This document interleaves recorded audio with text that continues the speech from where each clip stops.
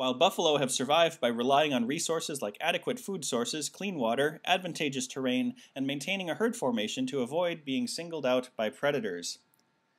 Um, so clearly we have a list, adequate food sources, clean water, advantageous terrain, and maintaining. So uh, if we want maintaining to be part of this list of items, it needs to be um, maintenance, and we look down the answer choices, none of them have maintenance. So clearly something else is going on in this sentence.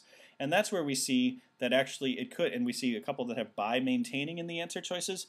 That suggests that maintaining is actually parallel to by relying. So the wild buffalo have survived by relying on three things, X, Y, Z, and by maintaining.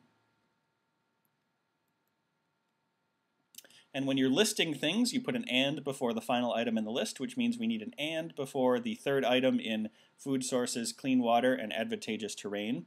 We also need an AND before the second of the two means by which wild buffalo have survived. So we're going to need two ANDs in our answer choices. Choice D is the only one that has and the advantageous terrain and then also and by maintaining. And we do need to repeat the by to make it clear that it is parallel to the initial by relying. So choice D is the right one.